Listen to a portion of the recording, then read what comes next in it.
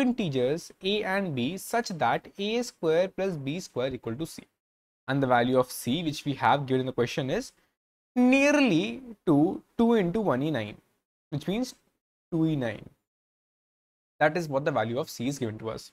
Now imagine a simple again these a and b are the simple integers they are also simple integers. So i just imagine a simple number line 0 1 2 3 4 up till 1e5 why up till 1e5 you will get to know. But i imagine a simple number line. In that simple number line i just have to choose two integers such that their square sum up to my target. Isn't it same way saying that i have given you an array and I ask you, is there, are there two integers who sum up to my target value? It's the same, right? Yeah, that's the reason it is similar to my two sum problem. Now, for sure, let's take an example. Again, right now we know that my C is 34, which is only thing which is which is given to you. You just have to tell, are there any A and B whose square add up to your C? Okay, so very brute force, brute force way. You will try for all possible A and B. So again, as I told you, A and B are integers. So you will simply go and tell, okay, bro, A I will try as 0, 1, 2, 3, 4, 5, 6, up till so on and so forth. And same way I'll try for B. 0, 1, 2, 3, 4, 5, 6, up till so on and so forth. Up till, again, up till what point? We will see that part. But let's say we have known these. Okay, I will try for this which means I will have a for loop which will try for A, I will have a for loop which will try for B. Any point where I have a specific A and B, I will do a okay A square plus B square. If that becomes equal to my C, I can say okay, I have got my answer and I should return a true. If not, if not in worst case, I should return a false. Now, you easily see that you are trying for two for loops. The complexity will depend upon how big this for loop is. Now, I ask you a question, how big this for loop will be? Obviously, that we know that I have to try for all possible values of A, which can give me a value of C. So, my equation was A square plus B square equal to C. Imagining there is B as 0, how I will get my maximum value of A? Because see, I want to get the maximum possible value of A. That I can only get only when my b vanishes, which means my b is 0. So I got a value of a as under root of c. That is the maximum value of a possible. Thus, I realized the maximum value of a possible is under root of c. Maximum value of b possible is also under root of c. So, my for loop will go a for loop will go root c times, b for loop will go root c times. Thus, my complexity will be root c into root c. O of n square, right? Where you are trying for all possible AB pairs. O of n square. So it will be root c into root c, which is O of c. And I told you, O of c. Okay, if you just go and see, c is roughly in a roughly in order of 1e9. So O of c as a complexity will not work. It, it will give you TLE. That's it. This is brute force approach. So let's see the brute force approach. We try for a to a from 0 to a to root c again. Why is 0? Because I can start from 0 also.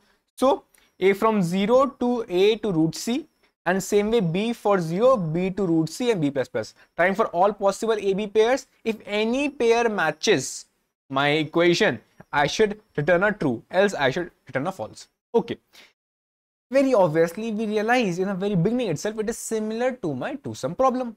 In the two sum problem we have already seen an improvisation in the brute force that we can use a hash map. The essence of using a hash map was that you will try for one value. If you remembered, I'll re reiterate. So if you have forgotten, I'll, I'll, reiterate that what you do in a standard, standard two-sum problem, you will try only for A. And then you know you have the equation A square plus B square is equals to C. So you will try only for A, only for A, which means A is known to you right now because you are trying for A which means b is variable. So b is nothing but under root of c minus a square. So this thing you could have searched in your hash map if you would have done that to done done your two sum problem.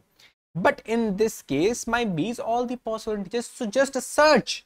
Is there any b possible or not? Because I, I just want is there any b possible or not?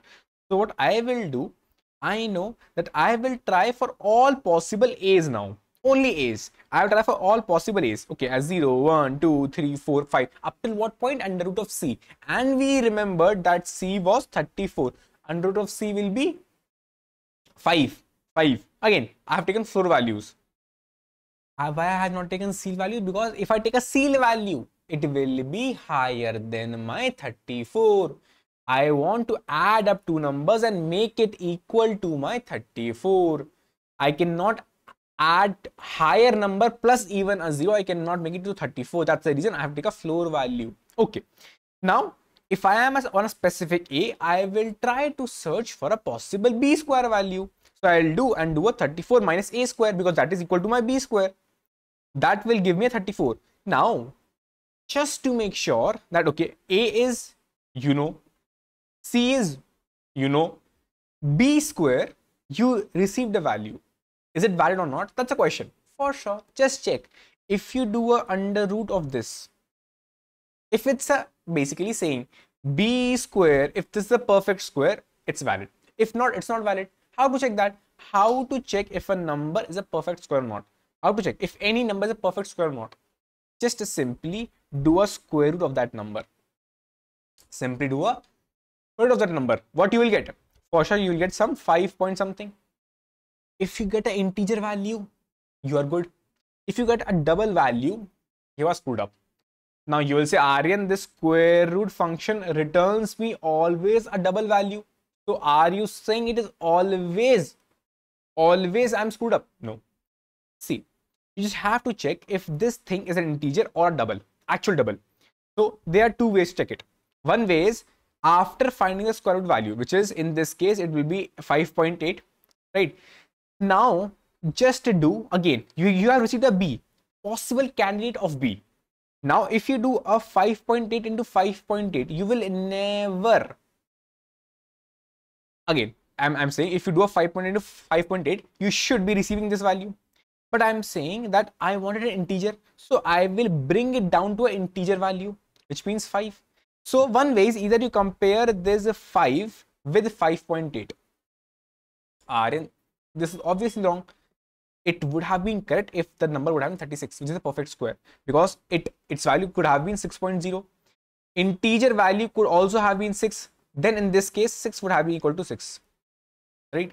That is the reason. That's the reason. One way is to convert it, convert this result to a actual integer and then compare. Are they both same? If they are both same, which means this number was a perfect square.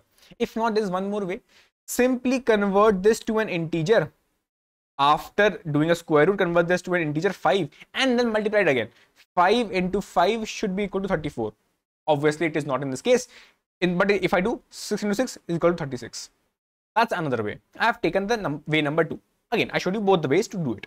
So what you will do, you will simply try to convert it to an integer and then do a square again. If I can come back to its value, okay, it was a perfect square. If not, it, it's it's not a perfect square. So I will try for all the possible 33, 30, 30 like a number 25. I'll try for all the possible values. And whosoever give me, okay, I have received a perfect square of b, as in b is a value which will is a perfect square. So I am good to say that I have got the value. What is the complexity? Before that, let's see the code itself. So code simply says you will try for all possible values of A. That's what you were trying. You will try to find the value of B, which is simply again, this is simple integer I have casted to. This will return me a double value. I have casted to a long long or you can say integer. Again, why LL taken? Because you know that A square, again, if you go back up, A square, it can turn to be a C, as you can see C here. This also can turn to be a C and these both are touching the int max limit. So if int taken, it might overflow. That's the reason I have taken a LL. Or you can take a long also, that will also work. I just need a buffer for a bit more of LL, a bit more of uh, int. Cool. Now, uh, I just converted back to a square and checked if it is exactly same to the value which I have given, which is c minus a square, then it's a perfect square. I should return a true. Return a true.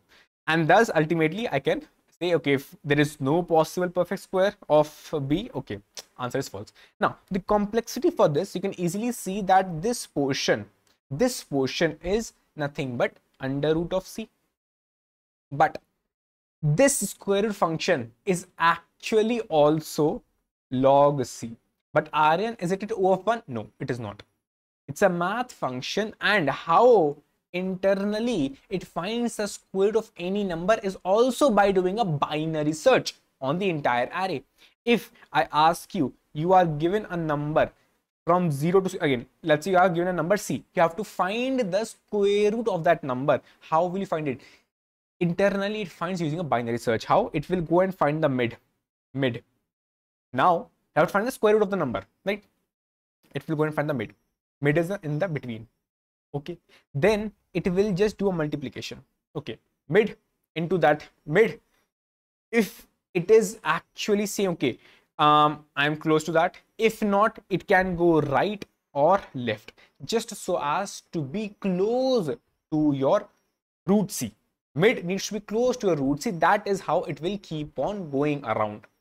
For example in the case when i had the number let's say as 9 so if I have the number, let's say as 0 to 9, if I take the mid, it will be 4. But you know, the square root is actually 3.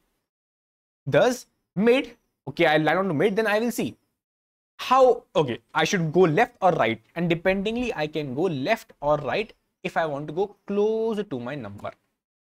Cool. That's the reason, uh, same way it works. That's the reason its complexity is log C. So I can also say that instead of taking the square root by myself, I can apply binary search also to get the square root of the number. So in this, we saw two ways. One way is to use the square root. Other way could have been using a binary search itself. Ultimately, both will have under root of c for the above for loop and log c. Again, log c in the worst case because what if a is 0? That's the worst case, log c. So log c for the square root function. Time is under root of c log c space over 1 because no extra space used. Now, can we improvise it? We can think of only when we had seen the two-sum problem. The two-sum problem says that you could have also used a two-pointer approach considered. You have sorted the array.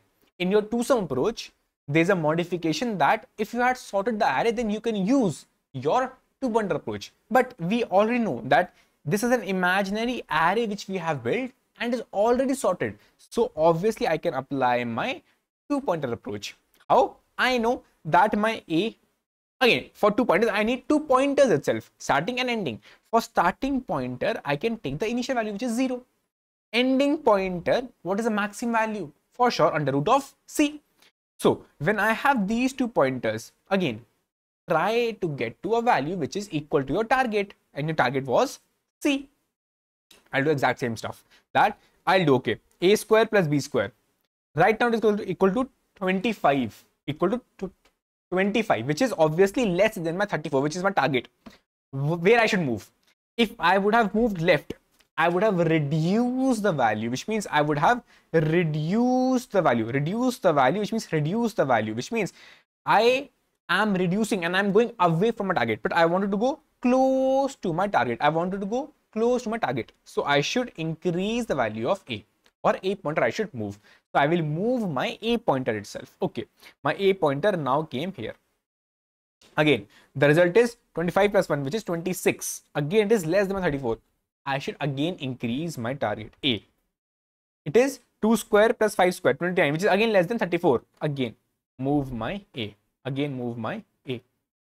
3 square plus 5 square. Your value is 34. Again, it is equal. If it would have been high, then you would have tried moving your B pointer, right? Simple as we saw earlier also in two-sum.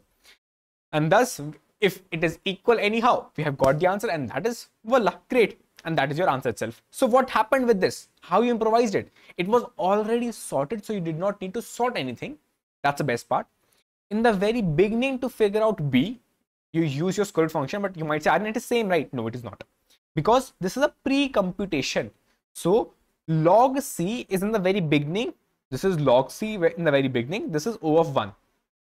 But then your while loop starts.